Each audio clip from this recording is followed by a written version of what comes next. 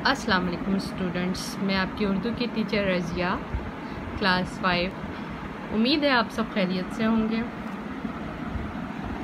और घर में मामा को तंग नहीं करते होंगे। पढ़ते हैं ना सब बच्चे। और अपना ख्याल भी रखते हैं। बाहर जाने की ज़िद तो नहीं करते?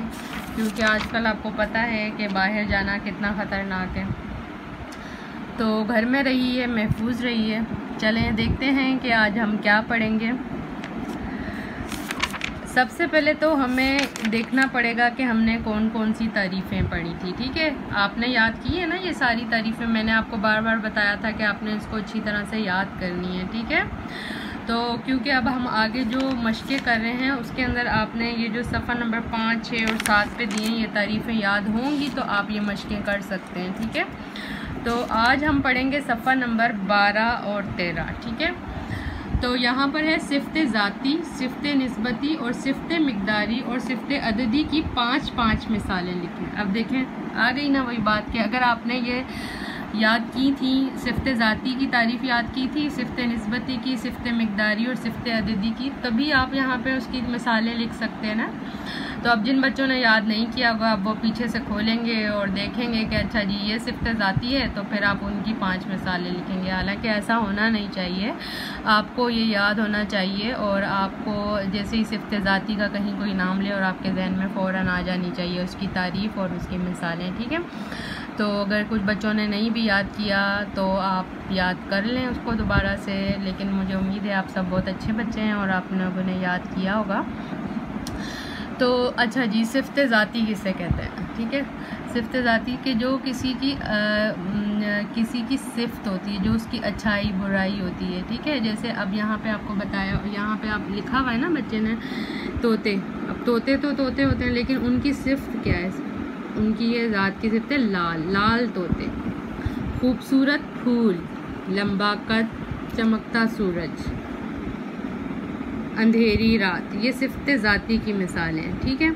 अब दूसरे नंबर पे है सिफ्त नस्बती। इसकी पाँच मिसालें लिखनी है, यानी अगर हम किसी चीज़ को किसी से नस्बत देते हैं कि उसका ताल्लुक़ किसी और चीज़ से और उसको बोलते हैं तो वो ये सिफ्त नस्बती कहलाती है। जैसे, अब कालीन कालीन है तो कालीन तो कहीं से भी हो सकता है, हम मार्केट से ले सकते हैं, लेकिन अब यहाँ पे लिखा है ईरानी कालीन, यानी इसको ईरान से नस्बत दी हुई है। कि इस इस कालीन का ताल्लुक जो है वो ईरान से है तो ये ईरानी कालीन यानी ये सिफ्त नस्बती कहलाएगा, ठीक है?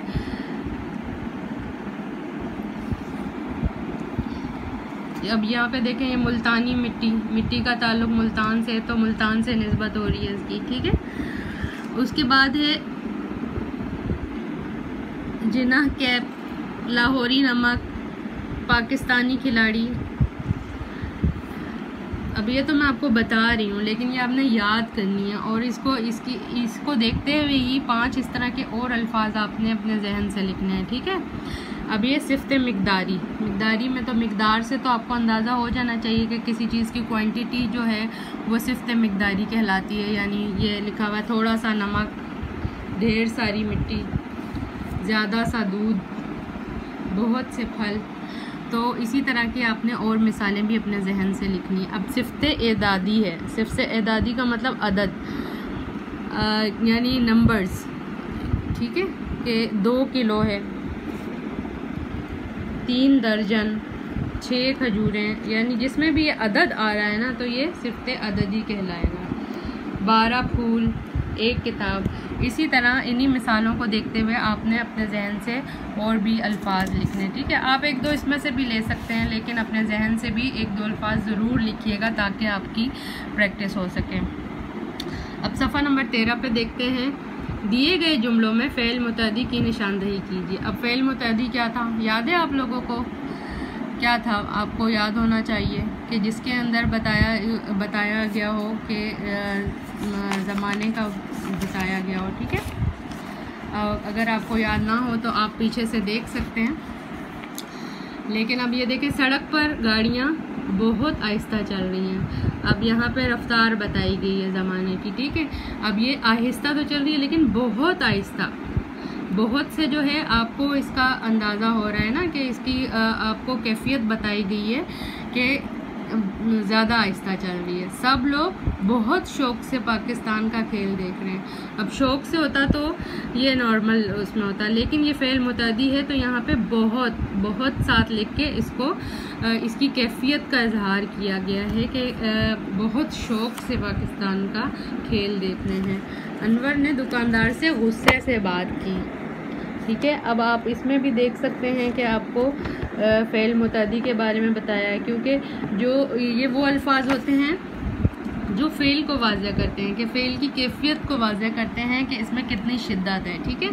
और फिर आपको अगला जुमला नज़र आ रहा होगा लिखा है अनवर ने दुकानदार से गुस्से से बात की। दावत में मेहमान शा, शाम छः बजे से आएँगे। अब ये छः बजे से आएँगे ठीक है? शाम यानी शाम के कितने कितने वक्त पहले आ जाएँगे ये आपको इसमें एग्जैक्ट बताया गया। बच्चा धड़ाम से नीचे गिर गया, गर्मी से पसीना बह रहा था। तो ये आपको इसको अंडरलाइन करना है जो फ़ेल मतदी हैं, ठीक है? फिर है, इसमें ज़मीर को इस्तेमाल करते हुए एक इबारत लिखिए अब इसमें ज़मीर क्या था? इसमें ज़मीर वो इसम है जो हम इसम की जगह इस्तेमाल करते हैं। जैसे वैस इसम की जगह जो इस्तेमाल करते हैं, उसे इसमें ज़मीर कहते हैं कि जैसे जैसे हम कहेंगे कि फ़िज़ा की लिखाई अच्छी है, वो बहुत अच्छा और साफ़ सुथरा लिखती है। ठीक है? जब हमने शुरू, पहले जुमले में कहा फ़िज़ा, और दूसरे में हमने वो इस्तेमाल किया तो वो होगा इसमें ज़मीर। आपने इसी तरह इसमें ज़मीर को इस्तेमाल करते हुए इबारत लिखनी है, ठीक है? अब जैसे यहाँ पे आपने बच्ची ने लिखी, आज हमारी उस्तानी साहिबा ने हमें किताब अलिफ से उर्दू का काम करवाया। ये उर्दू कवायद की एक किताब है। अब देखें इसका काम करके हमें बहुत मज़ा आया। अब यहाँ पे ये देखें, पहले किताब के बारे में बताया, ठीक है? और उसके बाद ये। ये इसमें ज़मीर है, इस इसमें ज़मीर है, ठीक है? तो इस तरह आपने एक इबारत लिखनी है जिसमें ज़्यादा से ज़्यादा इसमें ज़मीर इस्तेमाल हो। आप यही इबारत ना लिखें, आप अपने जहन से बनाएँ और ये बहुत आसान है कि जैसे आप अपनी किसी दोस्त के बारे में भी लिख सकते हैं कि आज मैं जनीता से मिलने गई और वो बहुत खुश थी, मैं भी उससे मिलके बहुत खुश हुई। और इस तरह आप, उसने मेरे लिए मज़े मज़े की चीज़ें बनाई। ठीक है? इसमें ये देखें इसमें ज़मीर इस्तेमाल हो रहे हैं। तो आप इस तरह की छोटी सी मज़े की इबारत आप यहाँ पर लिख सकते हैं। ठीक है? लेकिन काम करने से पहले आपने ऊपर तारीख लिखनी है, दिन लिखना है। ठीक है? और प्यारी सी राइटिंग में ये काम करना है। उम्मीद है आपको समझ आ गई होगी कि आपने ये सफ़ात किस तरह करने लेकिन हर काम करने से पहले एक चीज़ आप हमेशा जहन में रखें कि आपने तारीख़ ज़रूर लिखनी है हर सफ़े पर, ठीक है?